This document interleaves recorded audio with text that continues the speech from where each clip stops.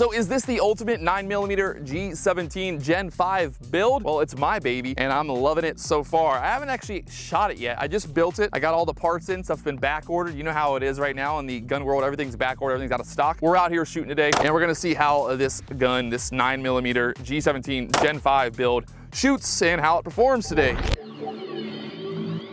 All right, guys, so we are out here today at Tradecraft training facility here in Immokalee, Florida. We've got the 9mm, the G17 Gen 5. Now, the reason that I first off went with the Gen 5 was because I did not want the grips on the front of the gun. And I also like the Gen 5 idea. It's very simple. You've got two pins, two pins, take it apart, it's ready to go. It's very easy to build, a good platform to build on. I mean, everybody has their own preference, but that's why I went with the Gen 5. And you can see I've also done some custom stippling as well. This is my first stippling job. I think it turned out pretty good. Obviously, it could have been better. I think if I'd had a little bit more patience with it, it could have been a lot better there. It is what it is. I wanted to go shoot. So that's what we're out here to do today. We're gonna be out here to shoot and really quickly, talk about what we've got going on here. So first off, I have ordered a larger magwell, the Taran Tactical magwell for this gun. It's out of stock right now, so I'm waiting for that to be delivered. I'm still waiting for a new trigger to be delivered as well.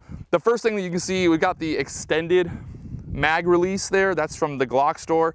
And then we've also got the precision slide lock there as well. I did order the extended slide release that's out of stock. We've got the Zev slide. This is the Omen Zev slide. It's got a couple cutouts here. Zev threaded match barrel to be a little bit more precise. Zev says that it's a little bit more accurate. Hey, sucker for a sales pitch. Now this is the dual illumination. There's no battery in this RMR, which is nice because I hate having to change batteries. This is going to be fueled or powered by the sunlight. And then at nighttime, it has the little radioactive isotope that powers it, which is kind of cool. It's kind of like I've got a radioactive gun. We're out here, we got a couple targets. Let's see how it goes. We're gonna back up. We'll go from the holster and we'll fire off a shot and see how she performs. I did not wear uh, earmuffs. Bad one. All right, so now that we've got the earmuffs on, like we should have had in the first place, uh, amateur hour here. Let's shoot again. We're at about 15 yards. I'm gonna aim directly for the center of the steel target there and see where we end up at. Like I said, I have not really done any fine tuning yet on the RMR. I have not sighted in or really done anything. Obviously we're this close, so it's not gonna be a major issue just to kind of put it on target and uh, get the shot that we're looking for. We're gonna pull and we're gonna fire at one shot.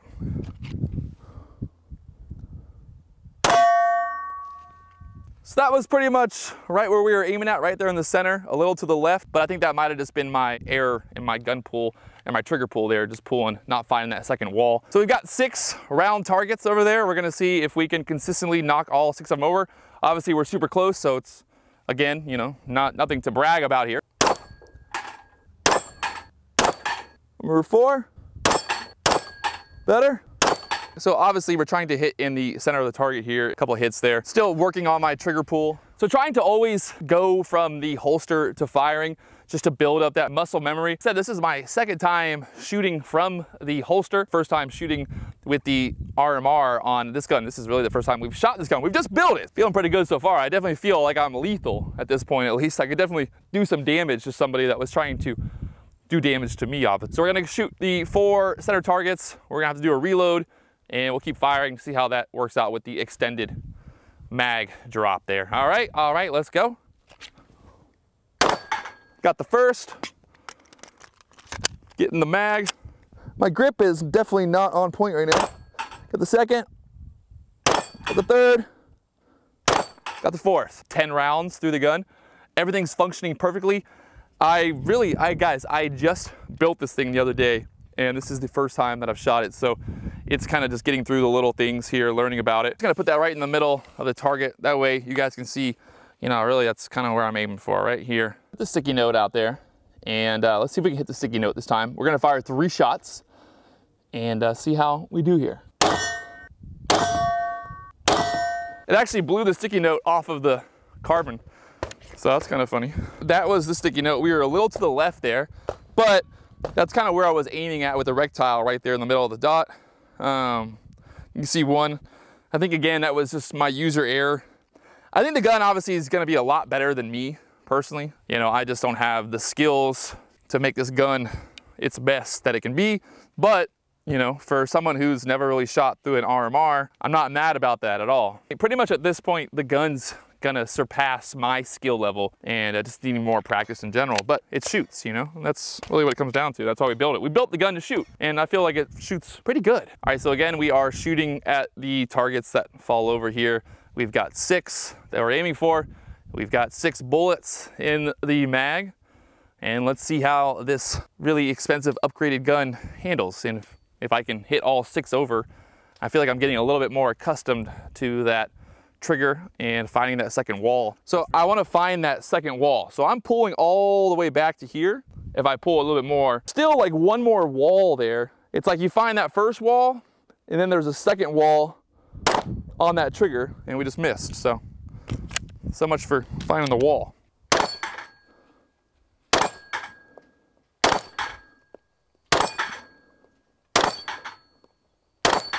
So I feel really good about shooting that because I noticed one thing right away that I did differently than before. My finger, I got a big finger, but if you look, can you see that? Can you guys see that? On my finger here, we're empty. Uh, on my finger, you can see where the trigger, I'm pulling the trigger with the tip of my finger. Now, I don't know if that's the most correct way to do it. I think that's the most correct way to do it. But I noticed right away that if I was pulling with the tip of my finger, that I got a much cleaner shot. I felt the trigger much better and we consistently got all six of those targets knocked over once I really kind of focused on the trigger more than anything.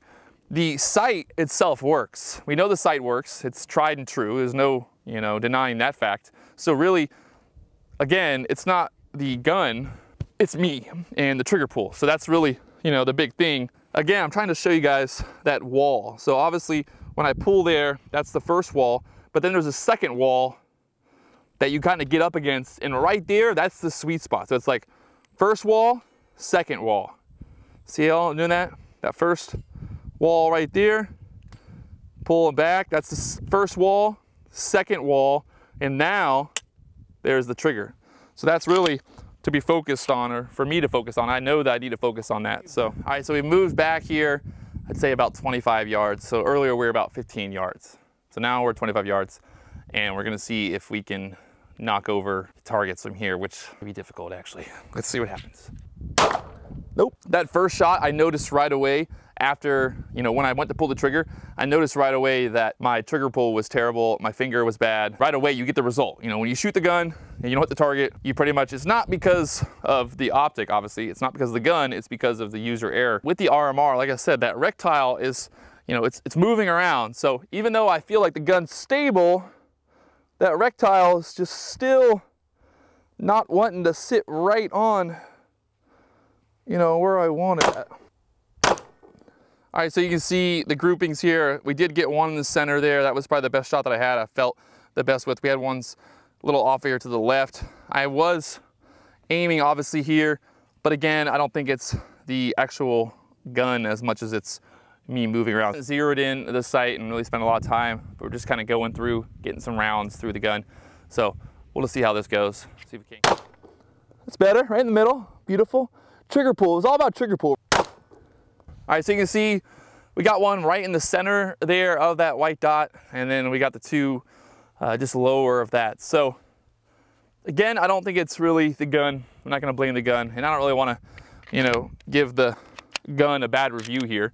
Uh, I think the gun's working flawlessly. I think the sight's working flawlessly. I think the barrel's working flawlessly. I think the obviously the slide, everything's working flawlessly. I think it's more just me personally as a shooter more than anything. I did build this gun. I ordered all the parts, did it myself. So I'm proud either way because, you know, it worked. All that matters, right? We're just trying to put some lead down range. So we're gonna put six bullets down range here into these six targets and see if we can be consistent here and make this happen with my new fancy gun. My new fancy gun. Let's go. One, two, three. Oh, I missed.